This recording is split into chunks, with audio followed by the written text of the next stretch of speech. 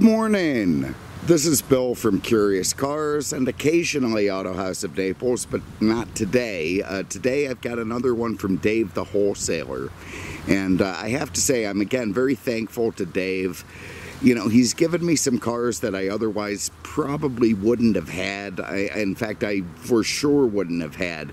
Uh, yeah, generally speaking, I just don't gravitate towards the newer stuff, and Dave does. And uh, as such, when I get something from him, it tends to be a fairly newer car, and it keeps me up to date, which uh, is an important thing because you know, God knows you don't want to become an old crabby dinosaur.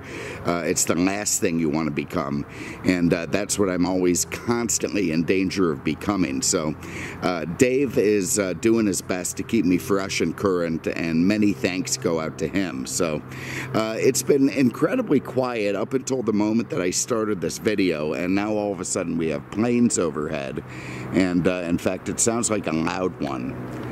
We might be under attack, but we'll see. Hopefully it just goes on its way. Uh, animals have been at an absolute minimum. Minimum. I haven't seen a bird, a squirrel, a deer, a goat, nothing. Uh, it's just absolutely fantastic.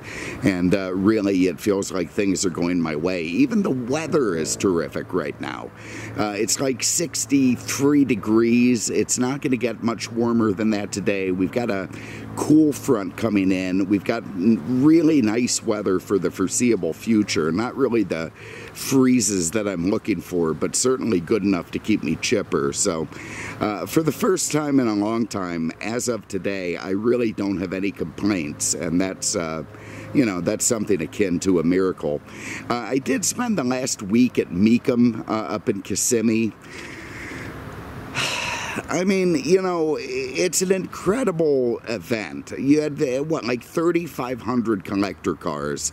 10 days it went on from Thursday uh, all the way through the very next Sunday. I mean, just an unbelievable amount of cars and basically anything that you could ever hope to see. Uh, I took a few pictures, maybe I'll scatter them in here. I didn't take many. Uh, mostly I just dicked around the auction. I opted for that gold pass thing, which is shockingly expensive because I knew I'd been there for, I'd be there for a while. Uh, so I was able to get plenty of free beer. Free is an interesting word for it. Uh, but uh, I was, uh, you know, basically just between the whiskey, the beer, and the cars, I was just sort of moping my way around the auction in a confused state. And uh, I thought about checking in from there, but I just couldn't put it together. I just didn't feel it. So here I am back and uh, back in the swing of things, and we're going to get things going. So look, I'm not. There's so much to cover with this car that I can't just ramble on the way that I usually do, and we're going to have to dive directly straight into it uh, at this point. And this is a 2021 Chevrolet Corvette Stingray convertible. There it is. It's been out for a couple of years now. Uh, obviously, it's made quite an impact. And uh, the number one thing, let me just get this out of the way. This is the number one thing. Let me just say this the cleaning of the inside front windshield is a deal killer for me on this car. An absolute deal killer. I mean, it sucks the big one. I can't even blame Dalton if he were to do a shit job on it. I tried it last night. Uh, I got this car, again, from Dave, so it really didn't go through the Dalton process, which is fine because Dalton really doesn't clean things up at all and sometimes they end up dirtier after he gets them but he didn't get this one. So the windshield being dirty was on me. So I decided to clean it yesterday before I took it out uh, this morning. And man what a pain in the giant ass. I have to tell you I mean I, I, it was basically winded afterwards. I mean, leaning, pulling the steering wheel forward to try and get leverage. Uh, the passenger side was a little bit easier, but it was an absolute friggin' nightmare. And uh, frankly, it was too much for me. It's just not something that I would want to contend with. So, uh, if I was, and I am, one of these 50 plus year old pot bellied midlife crisis guys, uh, I'm probably going to end up opting for the Dodge Hellcat because it just has a much easier easier to clean windshield. And uh, that's, um, you know, plenty of horsepower, and man, is it easier to clean the windshield. So that's that. And that's maybe the sum total of this review. So no matter how good this car is or how bad it is, forget it. If uh, you're not into really, really contorting yourself to clean windshields, then it's just not the car for you. Number two thing, I'm a bit torn on this car. Um, well, I'm almost instantly not a fan of any kind of new, modern, high tech machine. I mean, I'm just, you know, I'm getting, oh, they're the birds. Now they're coming in. Now they're coming in. Staging themselves over there. If those things attack me, God. See, now they're flying off. But anyway, look, I'm not immediately a fan of any kind of new high-tech car. Never have been, uh, at least in the last few years, and just sort of eschew it because I think for the most part, uh, they just don't have any kind of a soul. Uh, but uh, I am torn on this one because I am a fan of Corvette. I mean, have been for a long time. Uh, have always loved Corvettes, have always followed them. And uh, I've been sympathetic to the dream of a mid engine Chevy supercar for, uh, you know, decades. It's something that they've been threatening for absolute decades. And finally, finally it's here even if it's well beyond the vintage of cars that i find the most entertaining uh, i definitely have to admit that it's still a cause for celebration and uh, number three I'll just keep on going by the numbers. Uh, it's not really the first mid-engine Corvette. I mean, at least, and I don't mean just a, you know, half dozen or so mid-engine concept cars that Corvette uh, and Chevy came out with over the years. I mean, it's not even the first mid-engine production Corvette. In the ultimate technical sense, uh, any car with, well, how can I put this? This is a mid rear engine placement, but the 1963 Corvette, which was, of course, engineered by Duntov and a bunch of car guys, we'll get into Zora Arkus Duntov in a minute, uh, was technically a front mid engine Corvette. And um, well, cars like any front drive Honda Accord or Datsun Sentra, they put their running gear up front. It's between the front axle or even in front of it. And they can trace its roots back to the first Mini Cooper, which put almost all of its mechanicals in front of the front wheels. And they did that in order to create as much passenger and cargo space as possible behind it. Uh, that was maybe the uh, predecessor to every modern front engine shitbox Econobox that you drive now. Uh, you look at the Porsche 911, which of course traces its roots back to the uh, ass engine Beetle, and that puts all of its running gear behind the rear wheels, behind the rear axle, uh, in the middle and behind, and that's very technically a rear engine car. Uh, any car that puts its engine and mechanicals in between the axles could be called a mid-engine car. So the Corvette from 1963 onward was very technically a front mid-engine rear car, which makes this the first rear mid-engined, uh, you know, car that uh, Chevrolet has produced. But I mean, look, let's leave that to the geeks at uh, at Popular Mechanics because in the common parlance, and as most people will refer to it and understand it, uh, this is the first mid-engine Corvette, and uh, you know, America, fuck yeah. That that's all I can say about that. Um, it was Zora Arkus Duntov, if you know that guy, and we've talked about him, and I'll put some other Corvette reviews in there where I've gone through who he is and what he is and how he came to be, so we're not going to get crazy, because again, this is going to end up being a two-hour video if I have to keep going through everything, which I'm just not going to do. Uh, but he's known as the father of the Corvette. He's not the guy who originally invented it or came up with it, uh, but he is the guy who made it into what it became.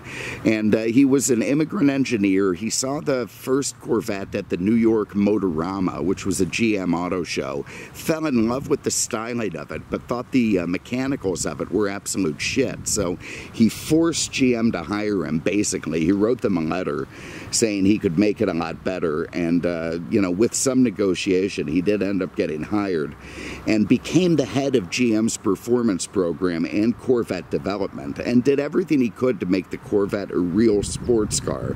Uh, he added fuel and injection, he added an independent rear suspension, four wheel disc brakes, and uh, basically took it from sort of a concept in style and personal luxury uh, into a true sports car, which you could say the second generation, the mid year Corvettes were. And uh, they were probably the pinnacle of his efforts in terms of making it a sports car. Uh, but despite all of those improvements, uh, Duntov knew that the limitations made by having a front engine rear wheel drive car would ultimately harm the progress of the Corvette. So he started coming up with a plan to make it a mid engine car. And uh, he introduced what they called the CERV 1. Uh, obviously, when it came out, it wasn't the one. It was just the C. For the love of God, there goes. Every time I think I'm going to silence that thing, and then I never do. But anyway, you have the CERV1, which came out in 1960. Uh, it was basically an open wheeled, it looked a little bit like those Le Mans racers of the 50s, you know, with the uh, small body in the middle and all the open wheel. Uh, but it was mid engined, rear wheel drive, and uh, it, even though it was designed basically to test the limits of suspension at the time, uh, it was a way for him to weasel in some uh, GM endorsed uh, mid-engine engineering and uh, became a fairly big deal. And that's just a neat car, and, and it was fun to look at. Um, the CERV 2, the CERV 2, was built in 1964, and it was styled by uh, the very famous Larry Shinoda, um, kind of the Mr. Miyagi of uh, engine, sorry, of Corvette styling, maybe automotive styling. He went to Ford later and designed the 67 Mustang, but he was an incredible guy, had been in internment camp and some other stuff, Japanese American. But uh, he helped design the CERV 2, which was now full bodied, but also mid engined and uh, designed to push the limits of that design. Uh, it did 0 to 60 in 2.8 seconds and ran a top speed of 214 miles an hour, which were absolutely shocking numbers for the time. And Duntov was thrilled. He wanted to race the cars at Le Mans, lobbied GM to do so, uh, but, uh, you know, GM constantly raining on Duntov's parade. Instead went with some chaparrals and uh, put the kibosh on poor uh, Duntov's mid-engine stuff. But, uh, you know, Duntov was not a guy to be deterred and not a guy to take no for an answer. So he just kept working away at things. And um, he came up with another mid-engine prototype uh, in the um, in the late 1960s uh, called the XP. What was it? Like the 882 or something, um, which was a very interesting car. Again. This one much more styled like a Corvette and uh, was very much loved and beloved by the engineers at the time. Uh, it was it, the kibosh was put on it by none other than uh, John Z. DeLorean, uh, who didn't want to see the Corvette as this radical pushing the limits thing that would, um, you know, be expensive to make and not be very high profit. He wanted it instead to be very profitable. So he was angling towards pushing the Corvette onto the Camaro frame, uh, of all things, to make it um, sort of a profit center for GM. And that XP car was shelved. Well, come around 1970 and the Detroit Auto Show, GM gets wind that Ford is going to unveil their mid engine Pantera. Uh, they hear rumblings about an AMC uh, mid-engine car by Bizzarrini. There's even a mid-engine Mercedes called the C111, and uh, they decide that mid-engine is kind of hot. So Duntov says, "Hey, I've got this XP uh, in the uh, in the storage closet. You know, shouldn't we do something with it?" Uh, Bill Mitchell, of course, famous GM designer, said, "Hell yeah!" Uh, they pulled it out of the closet, they dressed it up, and they debuted it at that 1970 Detroit show as the Corvette that concept man, it was an instant hit. Uh, people went absolutely nuts for it. The press went, people didn't know they wanted it until they saw it. And all of a sudden, it was the talk of the town uh, that there was this mid engine Corvette. It was rumored that it was going to be the 1973 model, uh, and it became a. Um, well, it became kind of an instant sensation and uh, started a buzz that would carry on for decades and decades and decades. And it was followed by more mid engine prototypes. Uh, there was the lightweight uh, Reynolds aluminum Corvette, which they actually cut apart the first one and made it into this Reynolds aluminum Corvette, uh, which was supposed to be very lightweight, which it was, but it didn't go anywhere. Uh, then there was a two and four rotor Wankel Corvette because rotary engines were going to be the thing uh, so they uh, were out in the Vega, but they decided that they wanted to be in the Corvette. Duntov hated the Wankel engine, absolutely hated it, uh, but he accepted that it was going to help him continue his mid-engined uh, drive. So he had uh, one of his engineers start creating it, who did a stellar job with it, and they made what were called the two-rotor and then the four-rotor Corvette. Which of course kept the whole mid-engine theme going. That led to the 1967 I had a lot of coronavirus whiskey this morning. I really did. I'm not sure that Omicron is a big deal, uh, but I'm not taking any chances, so I'm still jamming on it, and uh, that's what I did today. Sorry, 1976 uh, Aero Corvette, which was an absolutely beautiful design and probably the first one that I remember as a kid uh, because I was building plastic models at the time and uh, I believe Revell had come out with a model of the Aerovette. Uh, it was right around the time like the Six Million Dollar Man was out and stuff. So I was playing with some blow up Six Million Dollar Man, you know, uh, tech center and also building models. And one of the models I remember building was of the 1976 Aerovette, uh, which really didn't mean that much to me at the time, other than I knew they weren't making it, but it didn't look like a pretty damn cool car. Uh, but anyway, that came out, that led to an Indy Corvette of the 1980s, which was absolutely an insane display of technology from GM. Uh, even had map moving navigation before there was really a finished military navigation. I mean, this thing was so far ahead of its time, it was insane. Uh, like 600 horsepower it had or something, uh, but was basically just a way for GM to show off. And uh, then that became the CERV 3 in the early 90s, which was much more production ready uh, in terms of when you looked at it, it had things like windows that would go down, uh, enough uh, space in the wheel wells for suspension. It had bumper height stuff. You know, you could tell that it was being designed as a production car. Uh, but uh, if they had built it using the technology they were using at the time, it would have cost like 300 grand. And basically, that's when a ZR1, which was already pushing the limits of it being an expensive Corvette was about 60 grand. So uh, obviously that's not something that they built. And uh, even though it was going to be rumored to be the fifth generation Corvette, they carried on with the same old front engined rear drive setup that uh, was selling very well, had historically sold very well, and uh, never really gave the accountants at GM a reason to uh, to change it up. So um, you know the mid-engine car was again shelved. Uh, but development continued as it would, and uh, here it is. So it's finally culminated after all of these years, after all of Duntov's pushing, uh, in this C8 Corvette, which is now the front, uh, sorry, the first uh, mid-engine Corvette, uh, culminating Duntov's dream. And it's just a shame he didn't live to see it. He retired in 75, he died in the 90s, and never saw that uh, his uh, ultimate dream of a mid-engine car would be produced. And that's a shame uh, because here it is, and it's just absolutely incredible.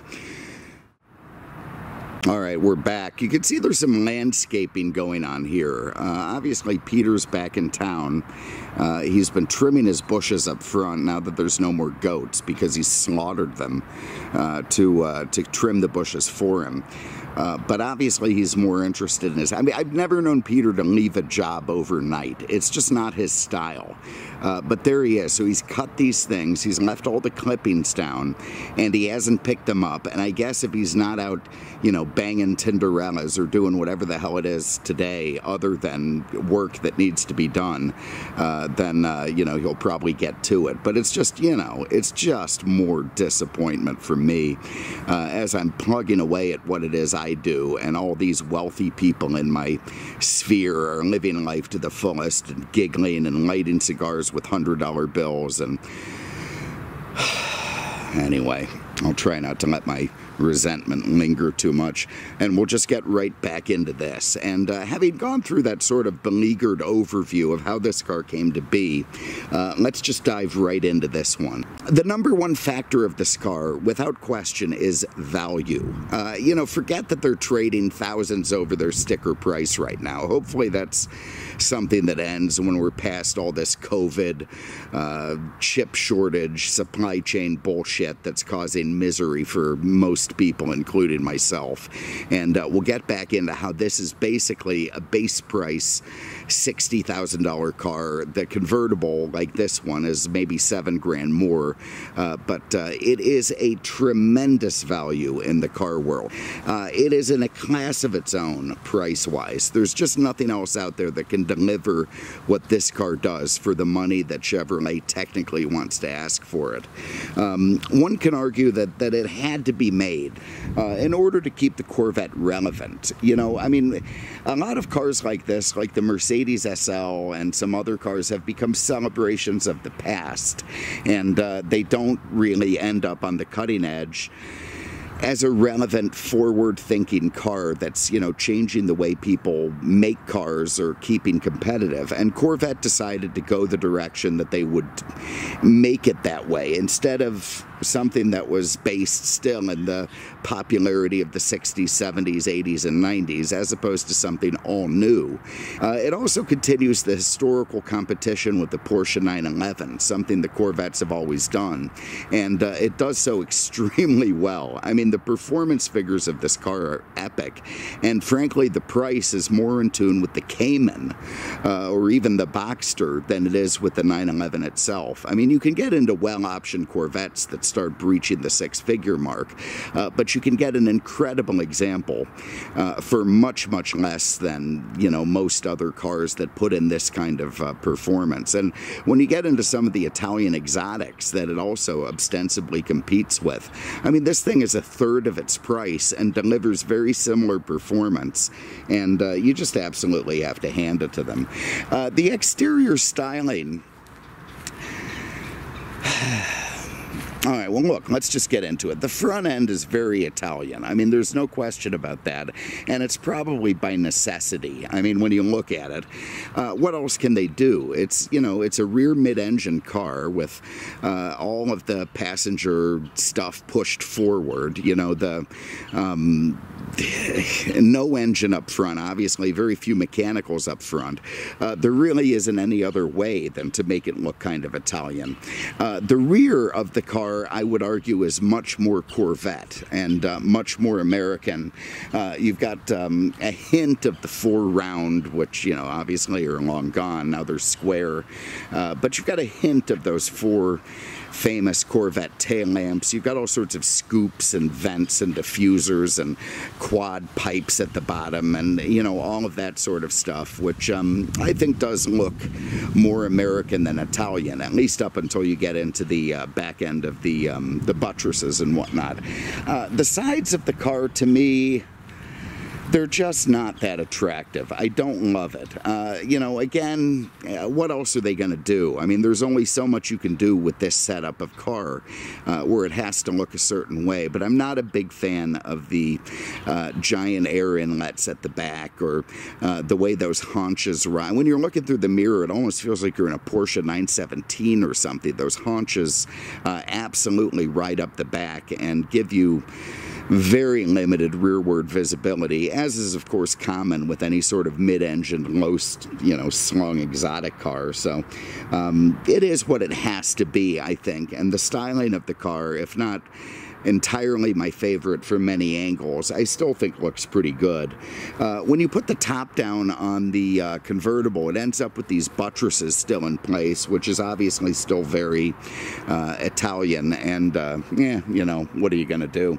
Uh, the mirrors are shoved way out, uh, I think, again, as a necessity to try and get you past those haunches. it's got very angular, angry headlights. You've got all sorts of swoops and vents in the front. I'm sure they have the the radiator up front to um, uh, to induce cooling. You've got big brakes. You've got staggered wheels. Um, you know, it is what it is, and Well, I tell you what, let's just get into the damn thing. So, under the hood and in the back, and the way you get into this thing, by the way, is a little bit convoluted in the uh, convertible. I think it's easier in the coupe. And in fact, in the coupe, there's a uh, engine dress package which you can get, which has sort of a plexiglass uh, cover so you can actually see the engine as the car's just sitting there parked. But apparently, to get into the engine on the convertible, you have to press the lock button on this big key fob and then press and hold this top button.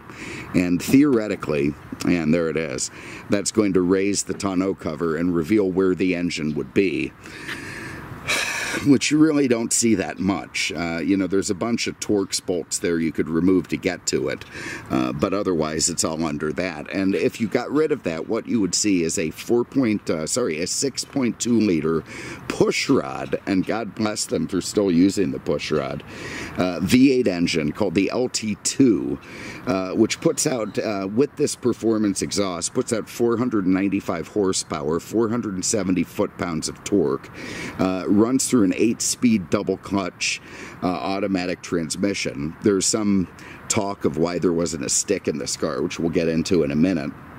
Uh, but uh, extremely advanced, extremely high tech, and very lightweight. Uh, it does 0 to 60 in 2.9 seconds. I mean, and that's in the base form. And maybe three seconds. I mean, it's insanely fast. Quarter mile of 11.2. Uh, it, it, pulls 1.03 on the skid pad, which does sound very impressive, but um, frankly isn't a big improvement over the hot rod versions of the C7. So, um, it, you know, it is hyper technical and incredibly cool, uh, even if the performance doesn't really exceed some of the fancier Corvettes of the past.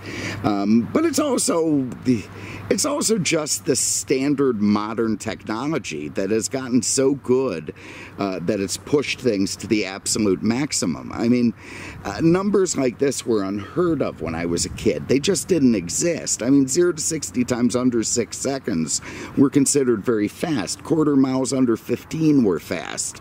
I mean, now it's commonplace to see cars turning in these kind of numbers, and that's much more a. Um, it's much more a result of technology advancing than it is of any particular specialness of this Corvette.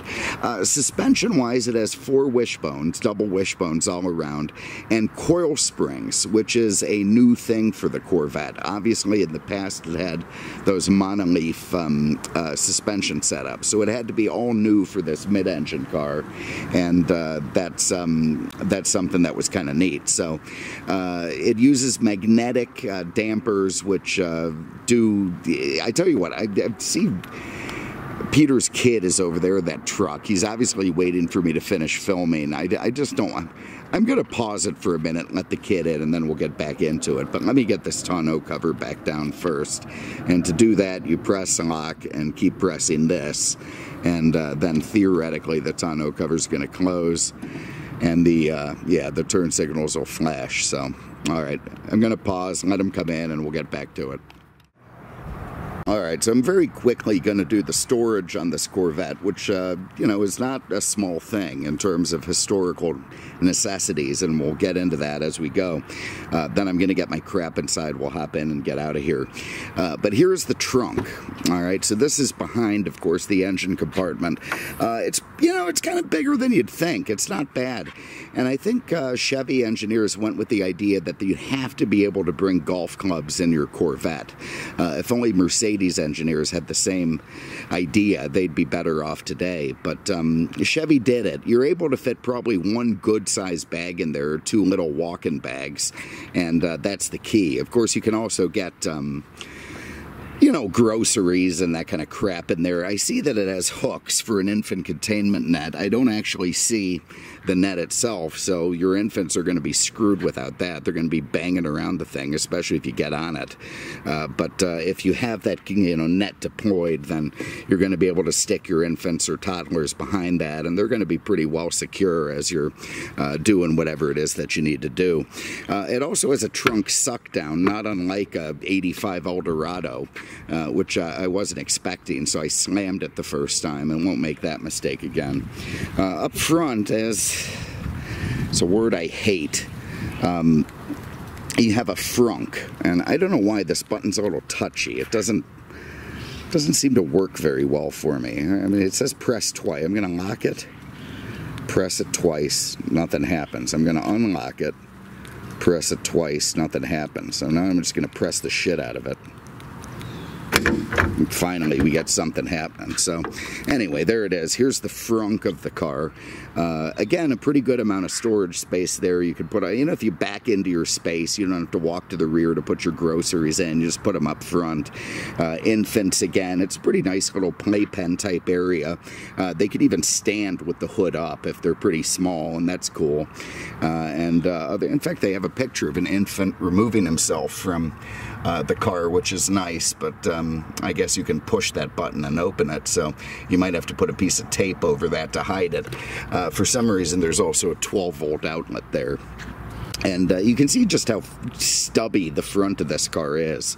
Uh, but anyway, this one does not have a pull down, so you have to give it a pretty good Porsche style push in order to um, uh, to get it down. But by being uh, fiberglass and not aluminum, you're not going to dent the hood, which is nice. So anyway, there's the storage on the car, and uh, I'm going to get my crap in the back now open up the rear and uh, then we're going to get inside and look at the interior and go for a spin. All right, craps in the back. Let's just get in this thing and see what we got. Um, not a big fan of the door pull. Uh, which is of course hidden from view. It's this little pressure pad release under here. Uh, you pinch up and it opens. I would have liked it if Chevy had gone with a more pure you know, it's probably asking too much because, of course, one of the Corvette things has always been sort of pushing the technological limits. Uh, if you remember in the 80s, they had that F 16 dashboard, and, uh, you know, it's just something that they keep doing is, is making things hyper technical and showing off their engineering skills.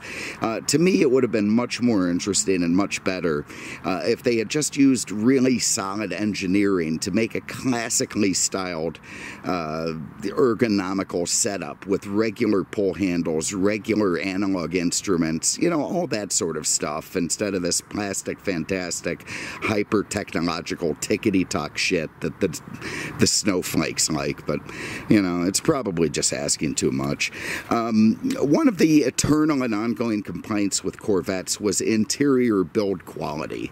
Uh, you know, it just was never up to snuff. They improved it over the years as to obviously the 60s and or in the 60s it was pretty good you know back when GM really was at the top of their game. Uh, from the 70s to 80s to 90s it, it just declined. It just wasn't what it was supposed to be. And you had squeaks rattles you had interior panels that were kind of shit and fell apart. And uh, that was an eternal complaint of the Corvette. Well I think they've done away with that on this one. I mean you have pretty nice stitched leather just about everywhere you know the seats. I think the these are called GT1 seats or something. Um, not a big fan of the steering square uh, as opposed to the steering wheel, and I think that's sort of an optional wheel on this car. I'm not positive, but I think so because some of the photos I've seen of other ones have a more rounded wheel. I mean, I get the flat bottom, uh, that makes it easier to get in and out of, but the flat top seems a little bit I don't know, a little bit too much. Uh, you've got all your window switches here. You've actually got your top control module here and your rear uh, wind buffeter panel here as well. Your mirrors. Uh, down here you've got your lock and unlock and a push button release. There's the uh, manual release if you end up getting stuck in there. Uh, here's a little spot for gun storage underneath there where you could put, um, you know, something small, probably more switchblades or narcotics than any kind of sizable weapon. And uh, that has your two uh, trunk releases. Uh, the seats, you can see it's got a little side airbag thing up here, all very nice. Um, it's power control on both sides. It has contrasting stitching. And I can tell you right now, getting in and out of this car, even though the doors do open nice and wide, which makes it easier for me to get in and out of, I rub the shit out of this bolster every time. And I have a feeling that that thing isn't going to make it for 50,000 miles before it starts looking really tired. Oh, God, there I did it again. We'll see. All right, door closed. Get my seatbelt on. we'll see what I got. Of course, uh, it's all keyless. You know, the car knows I've got the key in my pocket. Uh, I'm going to reach over and press the start stop. And everything fires to life. In fact, let me do that again without talking over it. Um, this car does have the performance exhaust sound, which comes in at startup and uh, sounds pretty good. So here it is.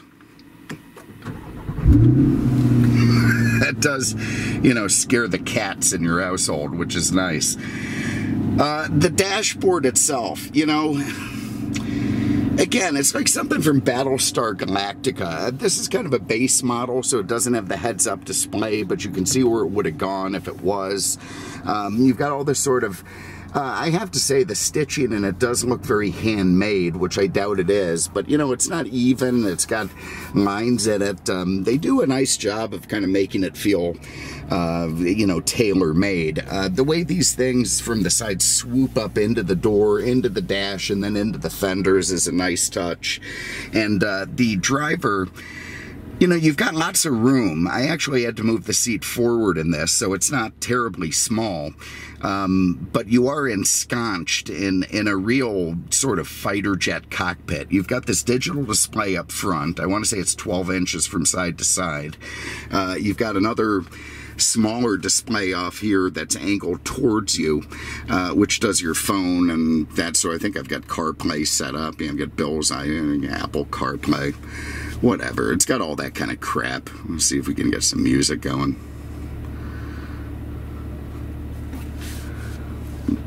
Bars are all closed. It's far. All right, so it's very easy to set that up. I have to say it. Uh, uh, it didn't seem to be too hard to get the. Um, uh, the technology going, even for an old bastard like me. Uh, you know, the shifter mechanism I find it absolutely ridiculous. I mean, what is the point of this? So you've got to pull up for reverse up here. There's your rear camera, which is great. There it is. You've got push for neutral. Uh, back here, you pull up for drive. You've got M for manual. Honestly, you know, what's the damn point? I mean, why not just have a shifter, which I think would be nicer? Uh, these cars, by the way, don't come with manuals. And uh, I remember watching a Jay Leno episode uh, a year ago when he was doing one of these cars with the head of development for the Corvette. And uh, he chastised him for not having a manual. And I can't remember the guy's name, but he said, Man, Jay, you know, piss off, man. We wanted one. We'd love to do it. People don't buy them. You know, they, it's not worth the development cost because people just don't buy them. So uh, you actually can't blame Chevy for a lack of a manual, uh, even if, you know, maybe that was just horseshit because the whole world of exotic cars is moving towards all this double clutch, paddle shifty crap. Uh, but, uh, you know, he did argue that, um, and it has been true since the 70s, far more automatic Corvettes were sold than manual.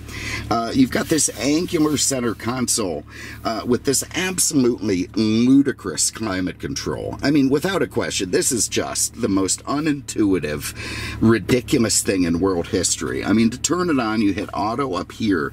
You've got all this single row of buttons.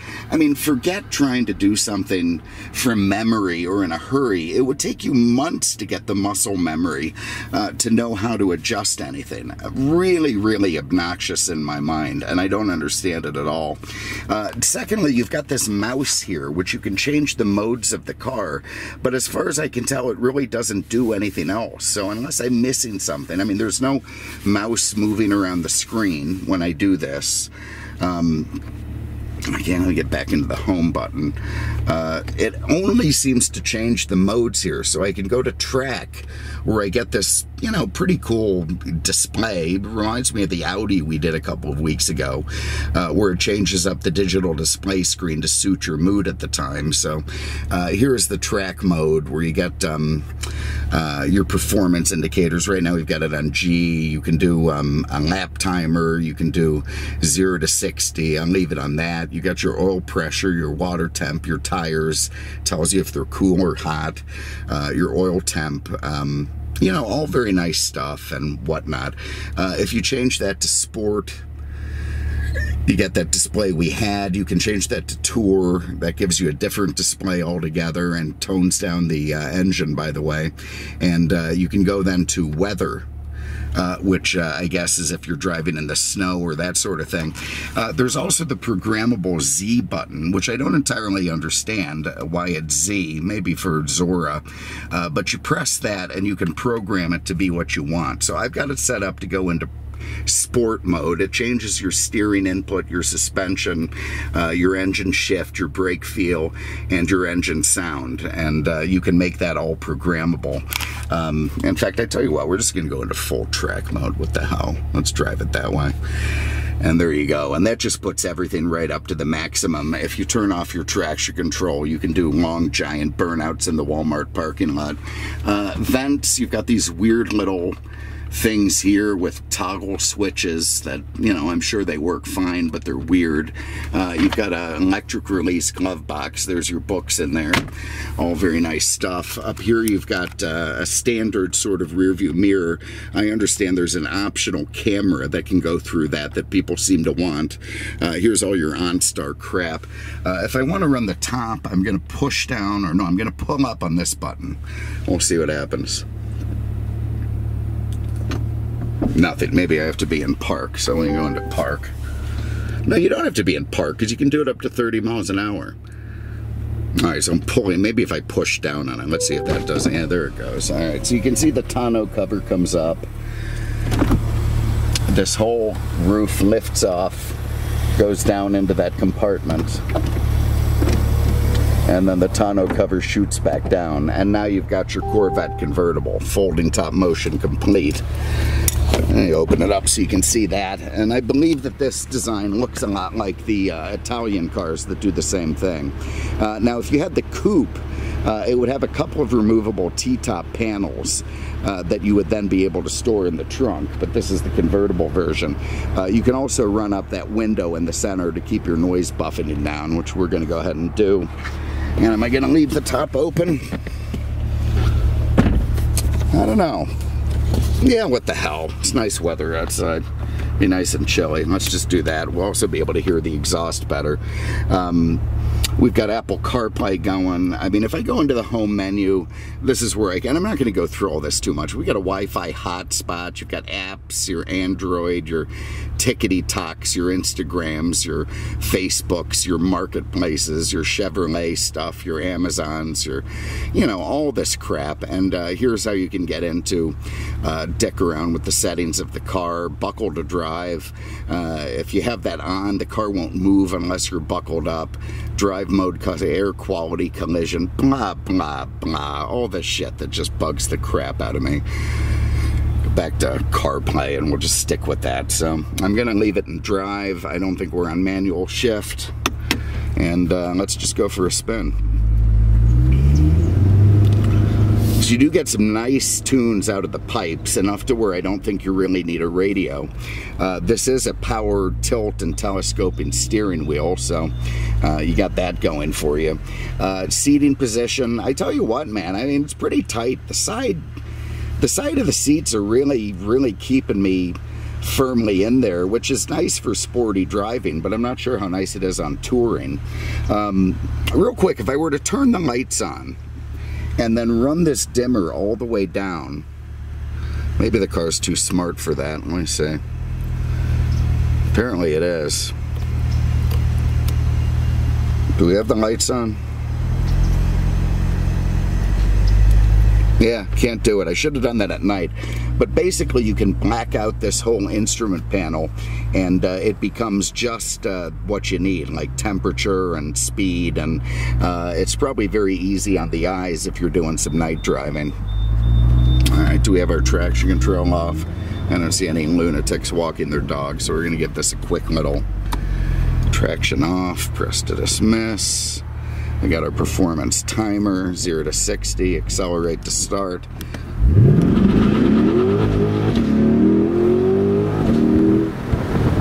All right, well with our wheel spin, we obviously didn't get that 3 second to 60 thing. Looks like we're 6'4", which is about the same as an 88 Camaro. So I'm not sure what's going on with that. obviously I'm not launching right.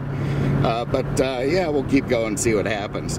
Uh, but long story short, man, the car is extremely quick. I mean, when you're driving at this speed, it's like something your grandmother would take to the store. It's incredibly docile.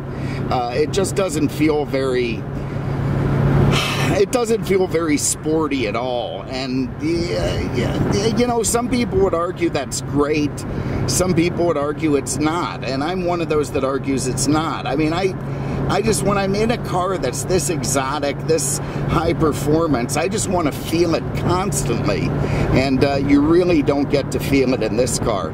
Uh, technology has advanced to such a stage, these magnetic ride control shocks can soak up the road. The thing feels like an Eldorado uh, when you're just driving normally, even in friggin' track mode it feels like an Eldorado.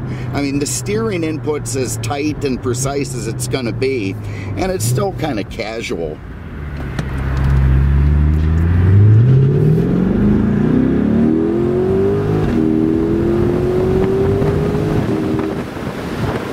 I mean, that is a lot of fun to hammer. I'm sure it's a lot more fun to paddle shift, but holding the camera, I'm not going to do that.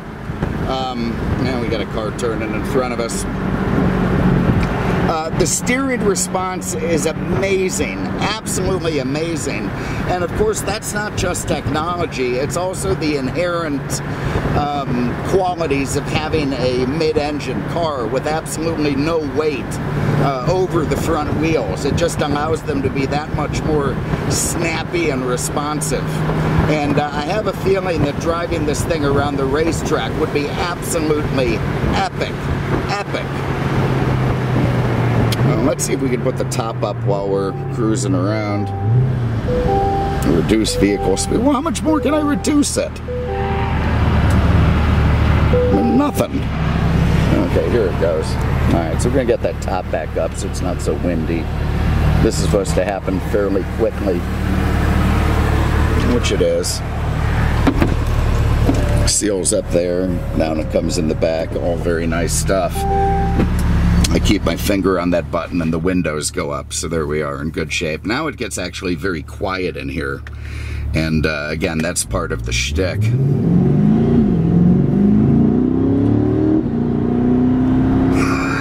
mean, it is fun to drive.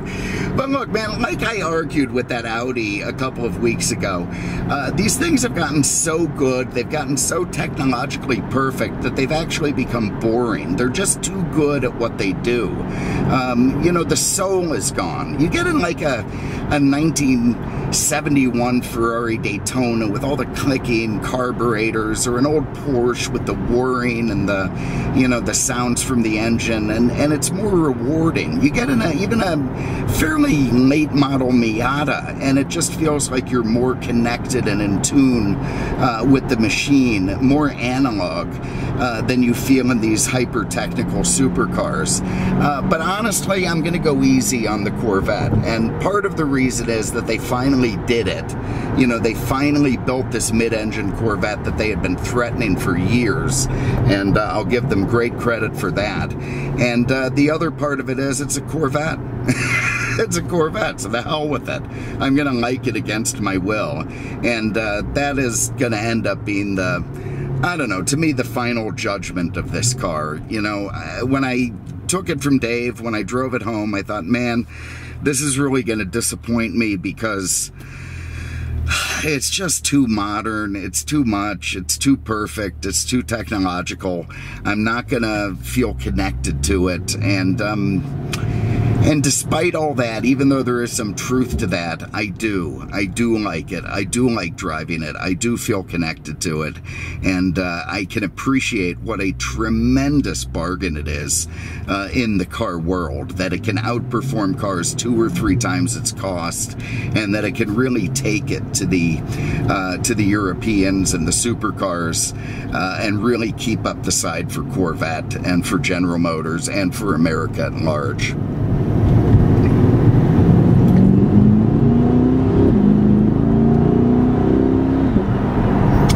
I just do like it. So anyway, there it is. Uh, this car, not for sale, not one of the Auto House inventory cars, just something I borrowed from Dave. Thanks again to Dave the wholesaler for letting me use it. And um, it's a 2021 Stingray convertible, uh, neat car, and uh, hopefully some more fun stuff to come. So I'm back in business. I'm back home. Uh, I did pick up a couple of cars at Mecum. We'll get videos on those. Uh, I did babysit the car I was selling, and that thing did sell. So uh, all in all, mission accomplished. But it's nice to be back in the swing of things, and uh, we're going to have some more fun videos coming up. So thank you very much for having a look. Appreciate it, and we will see you with the next one. Take care.